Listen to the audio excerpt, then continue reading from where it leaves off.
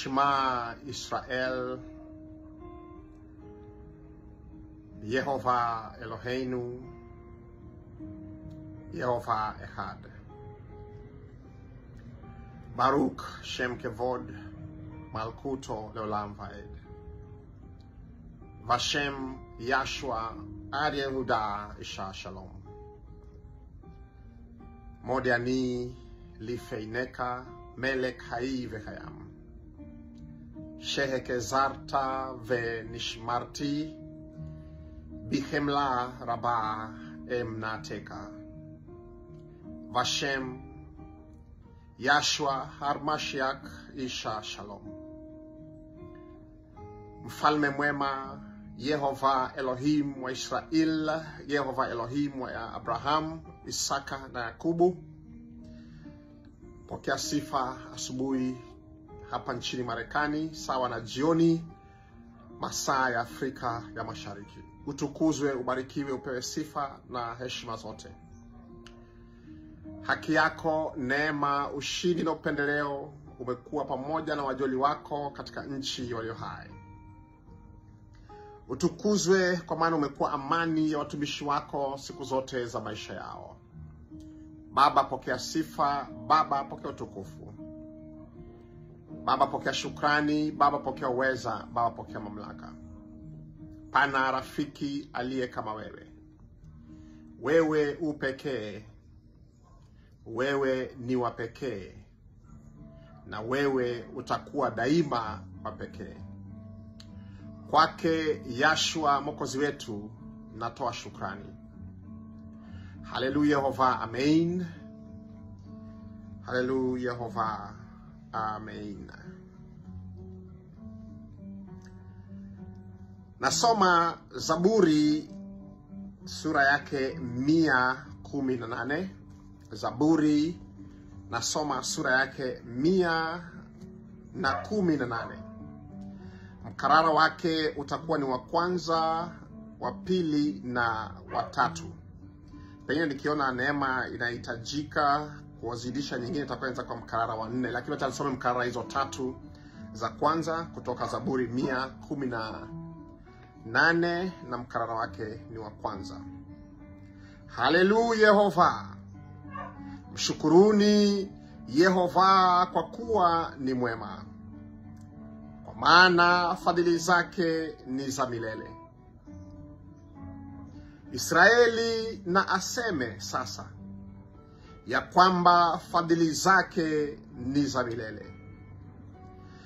Mlango wa nyumba ya Haruni na waseme sasa ya kwamba fadhili zake ni za milele. Ukisoma katika uh, sura nyingine mia ishirini na nne inasema kama Yehova Elohim hakuwa na nyumba ya Haruni, basi Aruni na aseme sasa, nyumba ya Aruni na waseme sasa, kama Yehova Elohim hakuwepo upande wao. Na nimesoma hii chuo nikilinganisha na mafunzo ya Shebati ya jana ya kwamba hatimaye tuwe hodari katika Yehova wetu, tukivalia silaha za kuwa tayari kupambana hali yote inayozuka dhidi au kinyume cha wateule siku baada ya siku. Ukisoma katika Waefeso sita kumi inaelezea kinagaubaga, inatoa bayana ni kwa ajili gani sharti mwaminio awe ni mtu ambaye amejiami kila wakati. Anaposema valieni silaha zote, ni nyumba ya Haruni wanakuwa ndio ile taswira. Taswira inakuwa ni nyumba ya Haruni, taswira inakuwa ni mavazi ya kuhani mkuu Kohen Gadol. Lakini mara ni nyingi nimeona katika eh, usomi wa Biblia wakati mtu ama mchungaji ama mwalimu anataka kufunza Waefeso sita, huwa wanachora ile taswira ya mwanajeshi wa zamani wa taifa la Warumi wanatumia ile mavazi yake rasmi na upanga na ngao vile ameshika kuashiria hivyo ndivyo mtume Shauli alikuwa ana- ana- ana- anamaanisha. Si hivyo alikuwa anamaanisha. Utayari wa kupinga hali zote za rohoni hazikutumiwa kwa mbinu ya mavazi ya wanajeshi wa Kirumi. Kile mtume Shaul anatoa kama taswira hapa ni mavazi rasmi ya kuhani mkuu na makuhani waliokuwa chini yake. Maana makuhani walipovalia mavazi yao rasmi, kwa mfano kuhani mkuu alikuwa anavalia vipande nane ya mavazi ya ukuhani ya, ya kufanya kazi ya ukuhani mkuu. Yaani, kabla hajaanza ibada ya kufanya kazi ya kuhani mkuu, alikuwa anavalia njuga rasmi, na njuga zile rasmi zilikuwa ni vipande nane tofauti amevalia kwa mwili wake.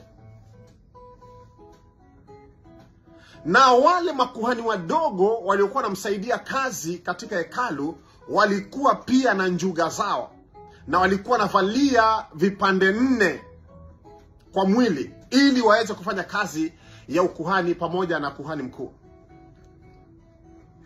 Na kuhani mkuu maisha yake binafsi yeye mwenyewe maisha yake ilikuwa na uwezo wa kusamea mtu.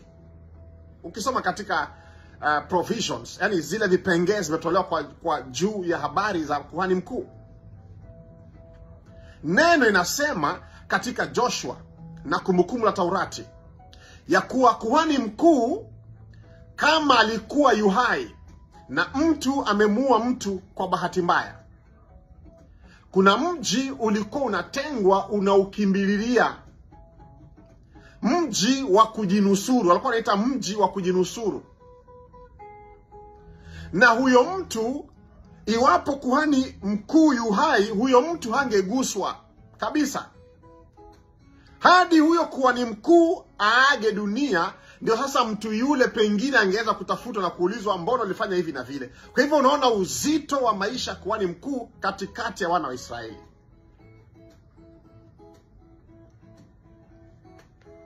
Na mavazi rasmi ya kuhani mkuu zilikuwa zinamwezesha kufanya na kutekeleza majukumu fulani kati ya wana wa Israeli,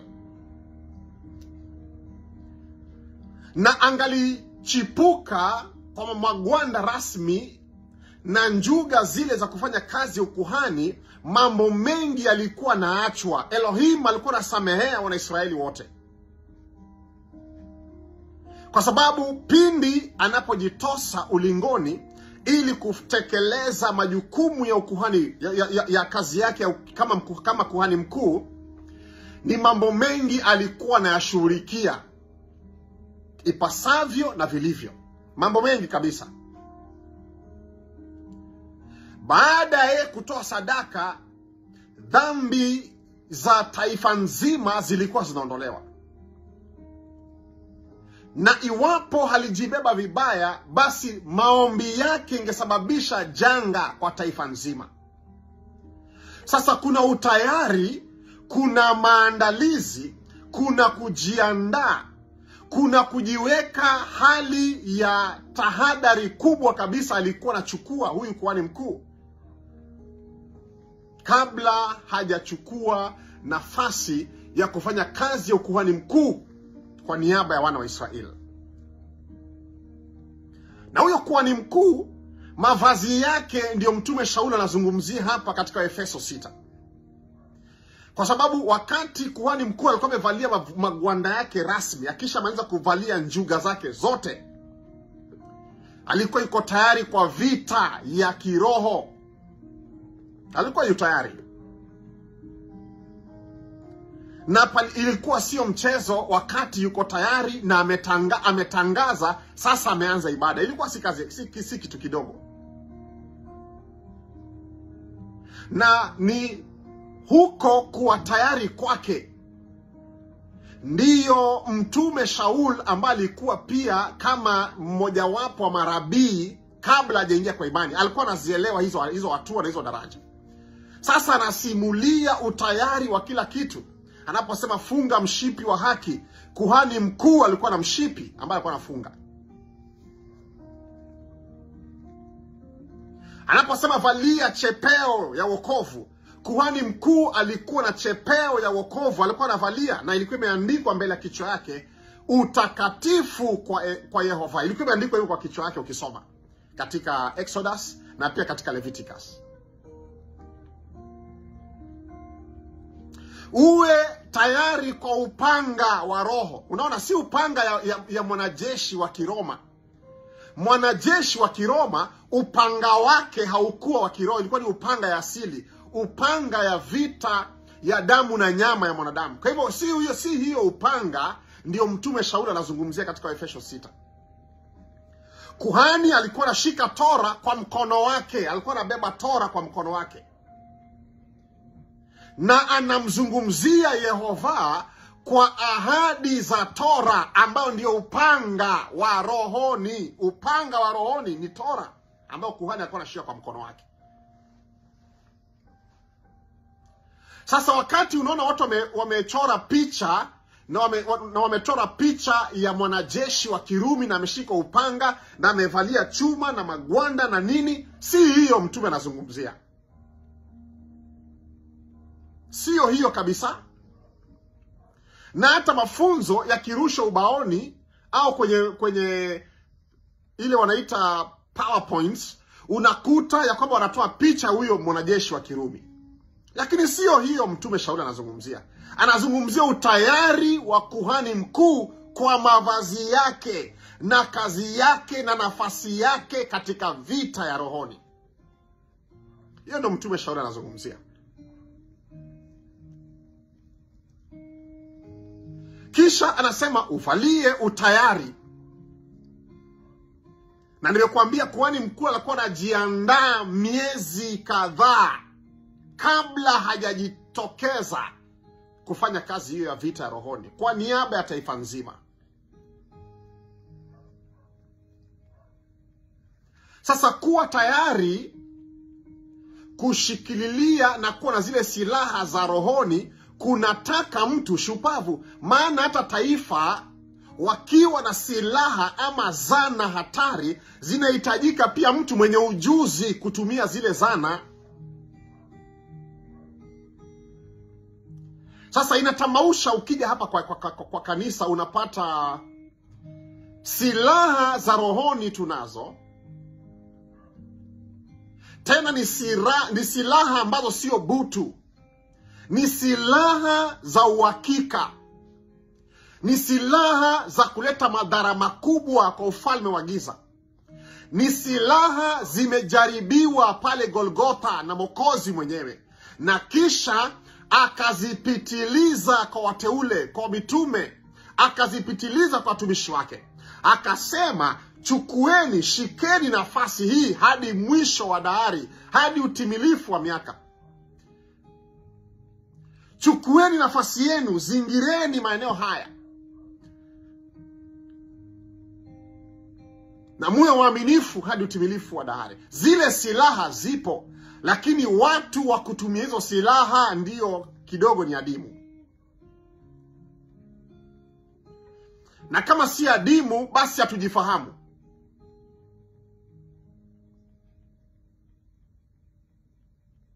Silaha zipo, lakini watu wa kutumia silaha ndio, ndio wameadimika, hawapatikani.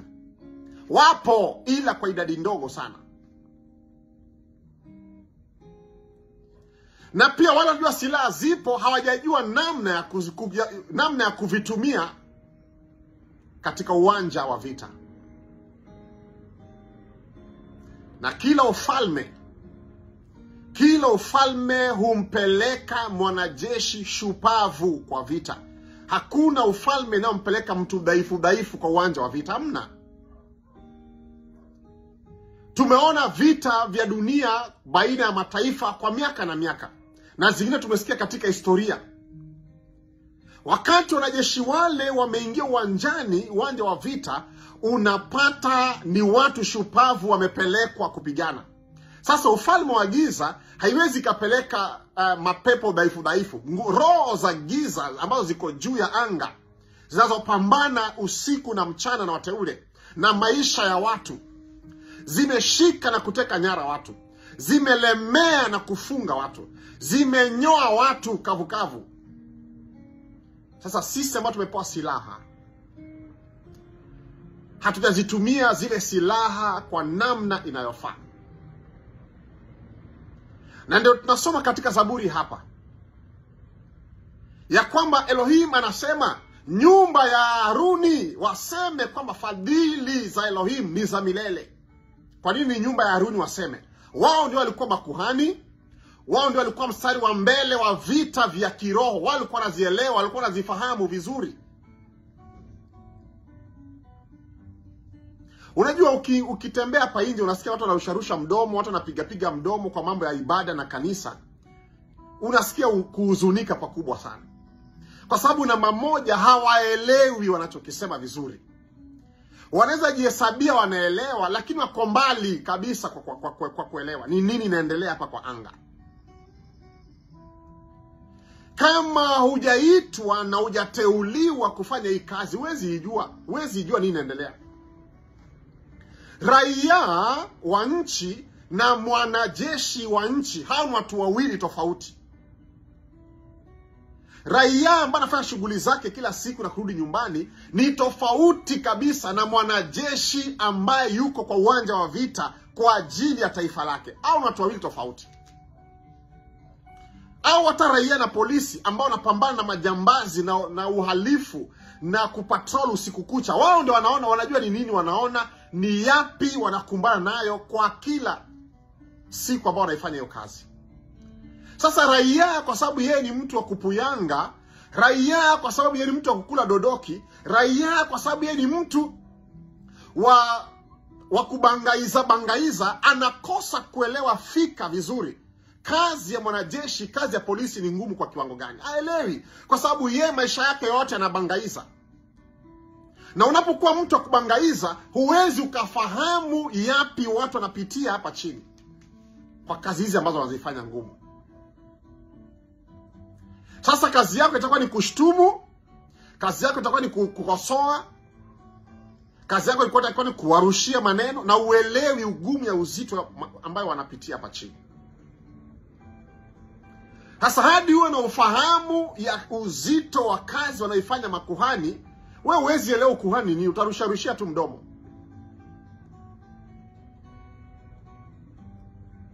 Na ndiyo inapasa mara nyingi tunapozungumzia kuvalia silaha tusiwe na ile picha ya mwanajeshi wa Kirumi. Hiyo siyo picha ya Bibilia.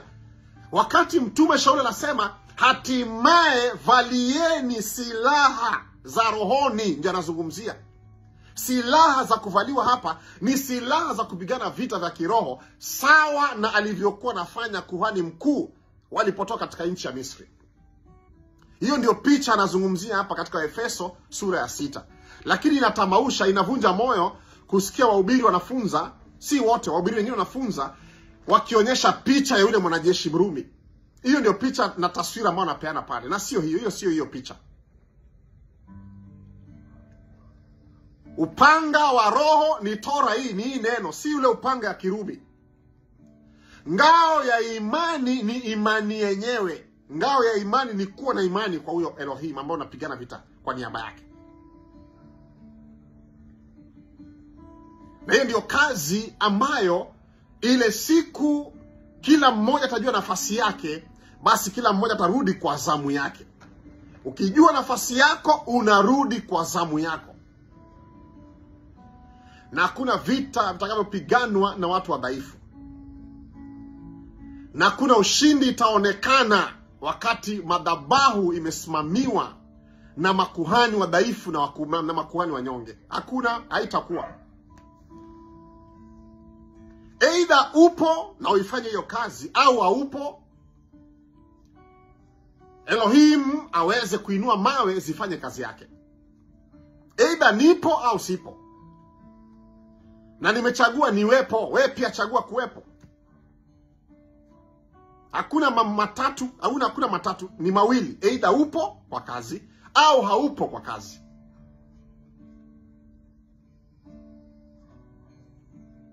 Na ni heri uchague uwepo wa kazi. Na ufanye kazi ile bila ya kuwa na mikono iliyolegea. Biblia inasema amelaaniwa aifanyaye kazi ya Yehova Elohim kwa mikono iliyolegea. Amelaaniwa huyo mtu, huyo kuhani amelaaniwa, huyo mhubiri, huyo mchungaji, huyo askofu, huyo mtume, huyo nabii, huyo mwalimu, huyo mwimbaji, huyo mwanakwaya, huyo shemazi, huyo mzee wa kanisa, huyo mama ambaye anaongoza kina mama kanisani, amelaaniwa akifanya kazi ya Elohim ya Biblia kwa mikono iliyolegea. Amelaaniwa. Ni maombi yangu iwe ni baraka sehemu yako kwa kuifanya kazi hiyo kwa bidii na moyo wa ushindi. Baruk ata Yehova Eloheinu melek haolam shem kevod malkuto leolam vaed והשם yashua ar yahuda isha shalom haberaka Yehova ואיש beraka Yair Yehova penabileka veihuneka. Isav Yehova penabileka vayashem Yehova leka shalom. Yehova akubariki na kukulinda. Yehova ainue uso wake juu yako na kukuangazia. Yehova ainue uwepo wake juu ya maisha yako na kukupatia amani yake ya shalom. Ubarikiwe kwa hiyo neema na Baba awe pamoja na wewe. Kumbuka pia kujiandikisha kwa YouTube channel yetu ili uweze kupokea mafundisho ambayo zimekuwa zikitolewa kupitia channel hii yetu Dr. Gershon Odare. Sekunde kadhaa tu una subscribe, una like na ni bure. Baba aweze kutubariki kwa pamoja. Amen ve amen.